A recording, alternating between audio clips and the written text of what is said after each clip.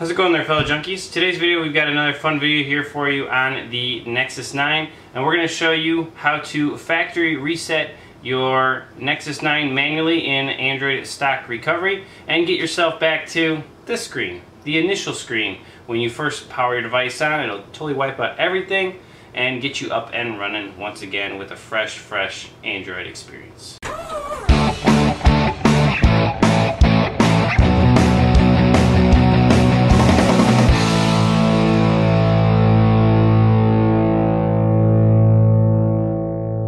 To manually factory reset your Nexus 9, uh, it's pretty easy to do actually. So let me show you how to do it.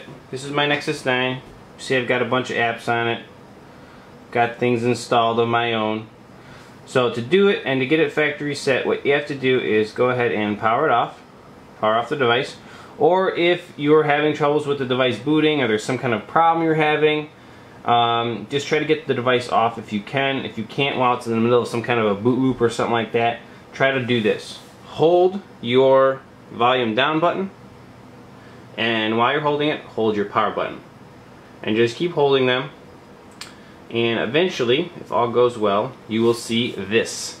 This is your um, bootloader or HBoot for HTC devices like the Nexus 9 and it's very simple. From here, you're going to scroll up and down, and it even tells you right here with your volume buttons, and you're going to select with your power buttons.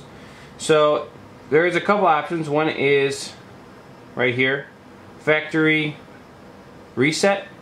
Um, that's one way of doing it. I don't like using that. I'd rather much rather use the recovery system, which that does use too, but I just like doing it this way. So we're going to go into Android Stock Recovery or Stock Android Recovery. So you highlight it and then select it with power and we should be booting here into stock Android recovery. Now, if you have a custom recovery installed, you saw me probably recently just installed TWRP Recovery. This would be the exact same way if you flash a bad ROM, your device is stuck in some kind of boot loop, boom, you can get into recovery this exact same way, but instead of booting up stock Android recovery, you would boot up custom recovery like TWRP Recovery, TeamWin Recovery Project. So, from here, you see this little guy in his back and it says no commands, right? So you're like, how do I get into recovery? Well, the trick from here now, because you're basically in recovery, you just got to get the options screen to pop up. You're going to hold volume up and power, you're going to push it once at the exact same time. Ready? One, two, three, volume up and power. Boom. There it is. Now you can see Android system recovery and you can use your commands. Again here you're going to scroll with the volume up and down so you have, first one was reboot system, now you have apply update from ADB. Here you have wipe data factory reset. Here you have wipe cache partition, reboot to bootloader, power off, and view recovery log. Now this is more options than I've seen on other Android recovery devices, which is uh, stock Android recovery, which is nice. So I like this uh, power down or reboot to bootloader. Those are definitely new from what I've seen. So to wipe data factory reset, we're just going to come right here to wipe data factory reset. You're going to go ahead and hit the power button.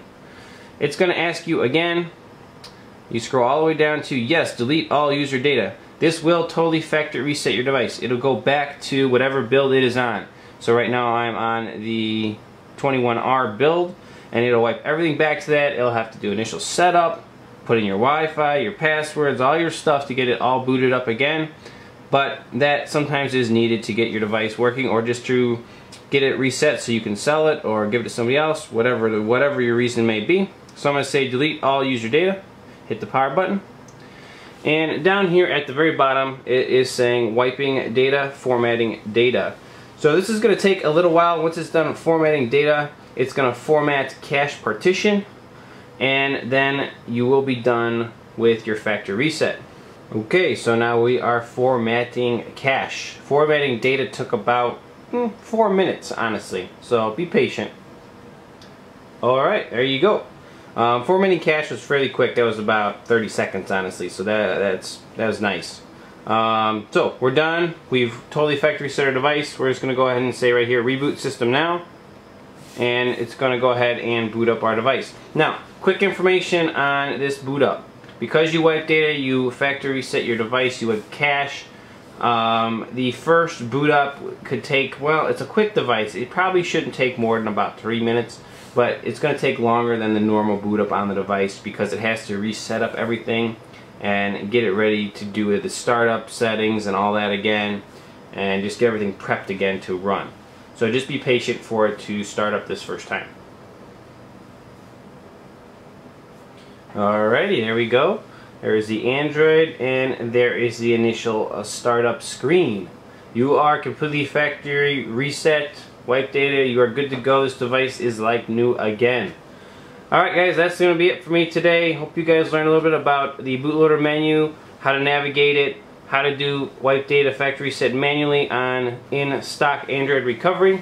And we'll catch you guys in the next one. RootJunky out. Yeah.